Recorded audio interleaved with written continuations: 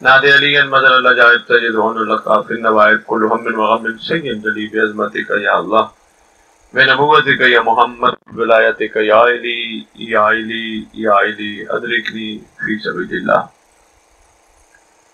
मुल्क खुदावंद आलम परवरदिगार आलम हम कमज़ोर बंदे ज़मीन पर बैठकर तेरी करीम हस्तियों का ज़िक्र करने के लिए इकट्ठे हुए जिस मकसद के लिए इकट्ठे हुए वो मकसद समझने की तौफीक अता फरमा खाने के कौन खताकार हैं गुनागार हैं, बदकार हैं। हमारे वो गुनाह खसूसन माफ़ फरमा, जो मारिफत इमाम में रुकावट है। हुसैनियत हुसैनियत हुसैनियत। जो जिंदाबाद समझते वो तो जिंदाबाद कह दो ना। हुसैनियत हुसैनियत। या इमाम अल मुंतजर। या इमाम अल मुंतजर। या इमाम अल मुंतकिम।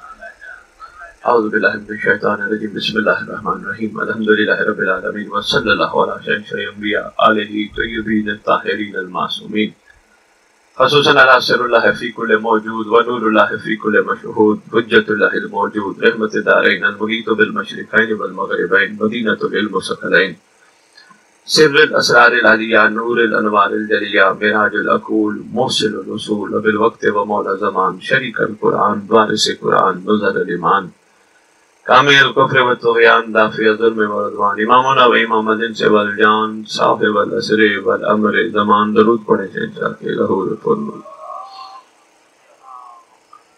मेरे काबिल कदर मौजे सामीन बहुत तवील खिताब नहीं, लेकिन चंद गुजारिशात ज़रूर आपके खिदमत में पेश करेंगे। आप सब जानते हैं अयाम अजा मुहर्रम हराम का महीना शुरू है।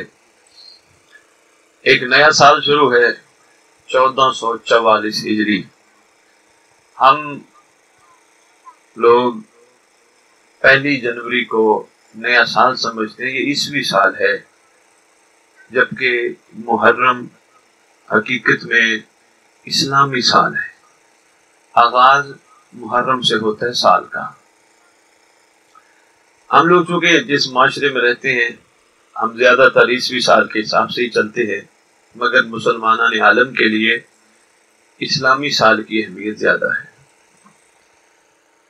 हर साल जब मुहर्रम का आगाज़ होता है, पूरी ज़मीन पर जगह जगह लोग आज़ादारी इमाम मजलूम में मसरूफ हो जाते हैं।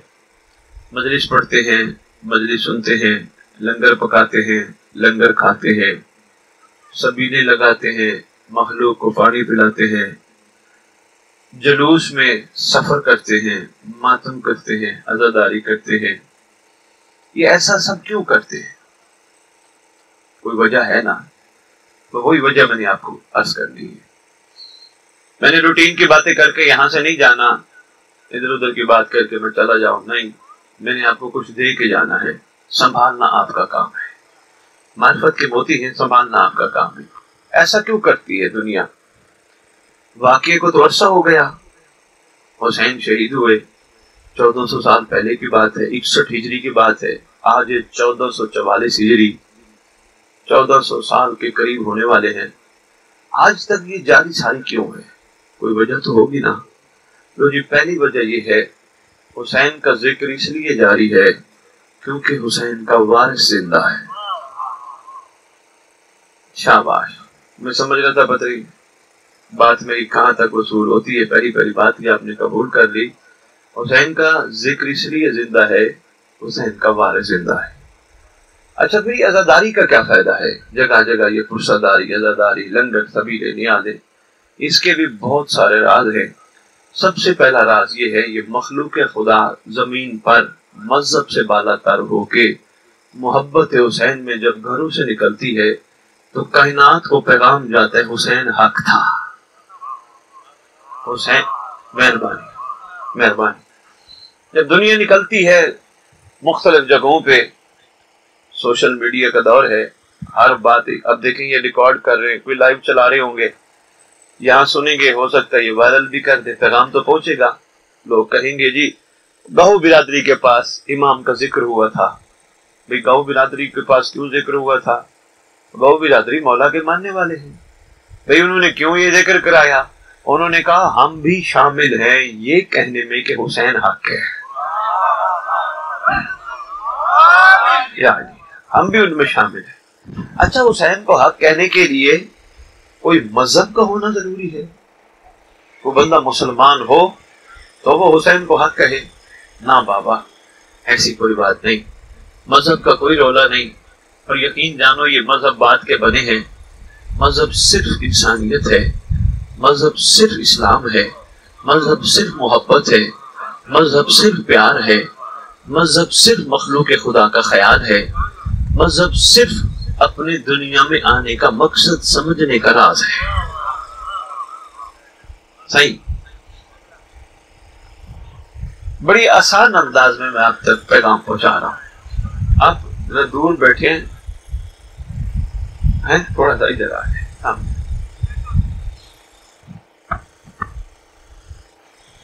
ये जो मज़हब के रोले बनाए हैं ना हमने वो सुन्नी है, वो हिंदू है, वो शिया है। अच्छा ये बताओ, ये जिस्मों में रोले बने हैं, एक फकीराना, कलंदराना, आशिकाना, एक बात करो? ये जिस्म में गाहो बिरादरी रोले हैं, हमारी जो असल है, वो हमारी रूह है। मुझे बताओ, रूहों में भी मज़हब होते हैं? नहीं। ये फुला मज़हब की रूह है, ये फुला मज़हब की रूह। रूहों में तो मज़हब होते ही नहीं है। भाई वाह भाई वाह, समझ गए क्या बात है भाई। आला लोग भाई, रूहों में बाबा कोई मज़हब नहीं होता। ये हमने जिस्मों में मज़हब की तफरीकें रखी हैं। रूहें दो मकाम पे जाती हैं, इल्मी ज़िम्मेदारी। रूहें दो मकाम पे जाती हैं।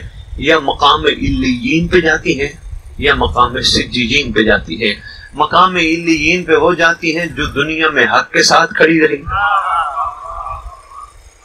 और मकाम सिजीन पे वो जाती है जो दुनिया में बातिल के साथ खड़ी रही, या हक भी और बातिल भी, यानी मुनाफिक। बंदा एक ही होता है ना, या ये रास्ता अपनाना है, या ये रास्ता अपनाना है। ये कौन सा काम है? ये भी अपनाना है, एक टांग इधर और एक टांग उधर, ये मुनाफिक आता है। और गौ बिरादरी में आपको ये भी बताता जो हक हक कहना आसान है, हक पे खड़े होना मुश्किल है।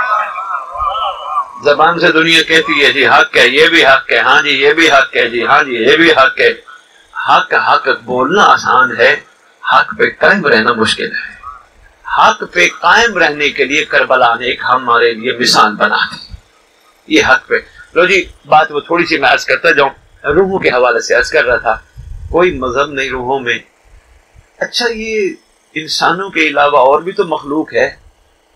ये परिंदे हैं चरिंद हैं दरिंद हैं, इन्हें में भी कोई मज़हब गरवला है। नहीं है? नहीं, इसलिए तो किसी आशिक ने कलम उठाई। कहते तूने परिंदों में फिरका परस्ती देखी है? कभी मंदिर पे जा बैठे, कभी मस्जिद पे जा बैठे।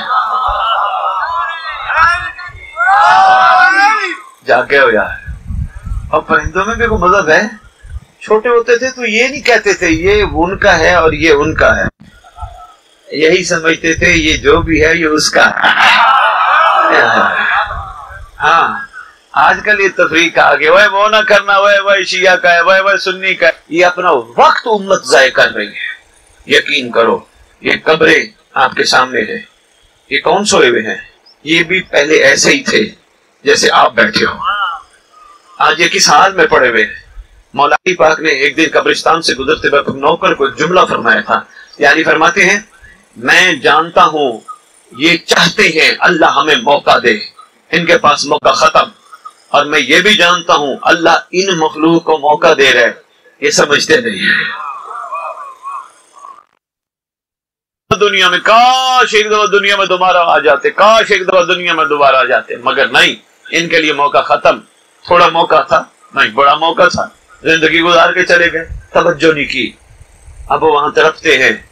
अब वो कहते हैं, एक दफ़ा मौका मिल जाए। मौका नहीं। आपके पास मौका है। आप भूल गए हो। आप गवा बैठे हो। आप अपना कीमती टाइम जाय कर देते हो। बाबा, यही है हक पे ठहरना। अपने कीमती टाइम को कीमती समझो। कीमती टाइम में महसूस करो, बजाय इसके, वो क्या कर रहे वो क्या खा रहे वो क्या पीन रहे वो क्या पहन रहे गौर करो, ये दरख्त ये दरख्त हमें इच्छाओं क्यों दे रहा है? क्या इस दरख्त पे लिखा है? ये भी तो खुदा की मखलूक है ना? क्या इस दरख्त पे लिखा है? इस छाव के नीचे सुन्नी आए। क्या लिखा है? यहाँ शिया आए। क्या इस दरख्त पे लिखा है? नेक आए। क्या इस पर लिखा है? गुनागार ना आए। इसको इन चीज़ों से गर्ज ही नहीं। ये छाऊ दे रहा है। इसकी छाऊ का कमाल ये गहरा है। ये जितना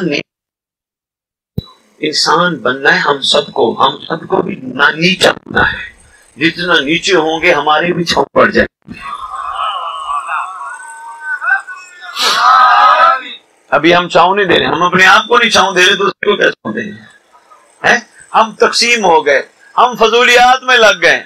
उसका माल, उसका पैसा, उसकी चीज़, उसकी खुदा की कसम, ये हसरत में पड़े हुए हैं। जहाँ आए बैठे हो ना, अल्लाह तुम्हें ताकत अता करे कि तुम रूहों से बात करो। और मैं ये भी यहाँ ऐलान करके जा रहा हूँ मेरा इमाम गवाह है, गाहू बिरादरी वक्त नहीं है, मैं इस पे भी गुफ्तगु करता। ये मोमिन का हक है। अगर हक पे मजबूती से यकीन के साथ ठहरा है, वो कब्र वालों से बातें कर सकता है। यकीन करो मेहरबान ये कब्र मुर्दों से बातें करना कौन सा मुश्किल काम है? सरकार सलमान मोहम्मद की अक्सर बातें किया करते हैं। हाँ हाँ इनसे बातें करना। लेकिन कब होगा? जब बंदा हक पे डटा रहेगा। हक पे डटे रहने का क्या मतलब है? हक पे डटे रहने का मतलब समझो, इसी का नचोड़ और एक का जुमला और आज करते हैं, फिर इजाज़त चाहिए दिल बड़ा था गौ बिरादरी, लेट होते होते होते हम लेट हो गए, आगे पढ़ने हैं, प्रोग्राम बड़े हैं। मेरा दिल है आप लोगों के साथ दो चार कचहरियाँ हों, ताकि ये जहन बेदार हों, ताकि इनको पता चले हम दुनिया में आए क्यों। कोई मकसद तो है ना? हक पे ठहरने का मतलब ये है मैं चार बंदों के सामने, मेरी तरफ़ देखना जी, कोई बात नहीं।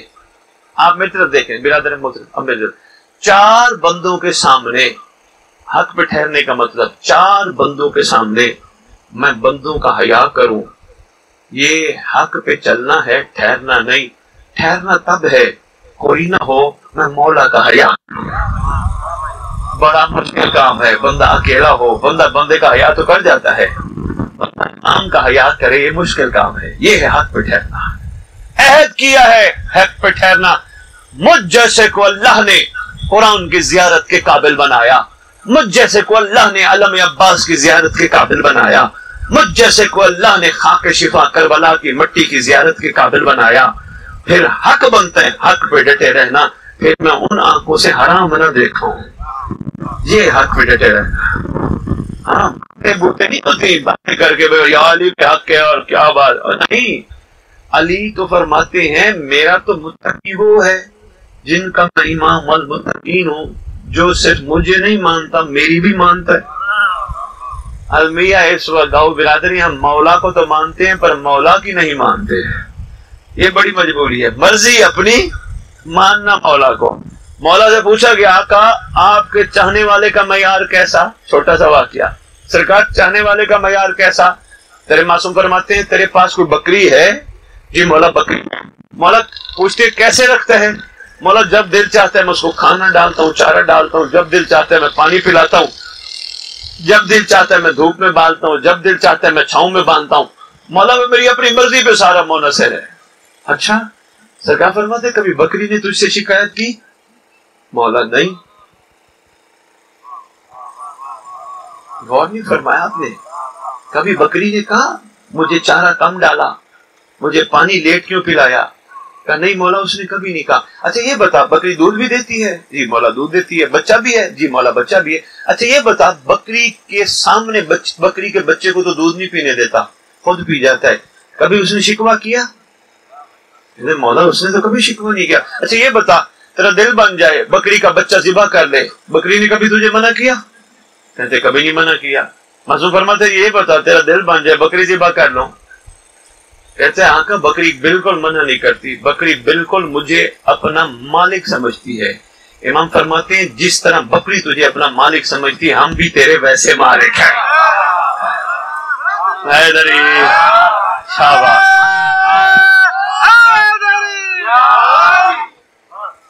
हम भी मेहरबानी यार शाहबाज जवानों। ये गौ बिरादरी की मोहब्बत है, प्यार है हमारे साथ, माशाल्लाह। जब से मिले हैं, बहुत अच्छे हैं। तैयब हो गए, दूसरे भाई हो गए, जब से मिले हैं, तब से इन्होंने ताल्लुक रखा है और माशाल्लाह इमाम के लिए मसरूफ सफ़र है। और मैं ये बताता जाऊँ, जितना सफ़र करोगे, इसका सिला तुम्हें उससे ज़्यादा मिलेगा। हाँ मगर सिला कोशिश करना, इनसे दुनिया ना मांगना। दुनिया मांगने वाले सबको छोड़ के चले गए। दस अच्छा जो मुहर्रम आया जी इनसे मौला से कहते हैं मौला मुहर्रम आ गया है मुझे दो गाड़ियाँ चाहिए। दो गाड़ियाँ मिल गई। क्या अगले मुहर्रम फिर तो क्या कहेगा? मौला मुझे गाड़ी नहीं चाहिए तो कहेगा चार चाहिए। चार मिल गई तो कहेगा छह चाहिए। हर दफ़ा तो, तो इनसे सवाल करेगा बेहतर ये है अकल ये कहता है इनसे फना न मांग इनसे बका मांग।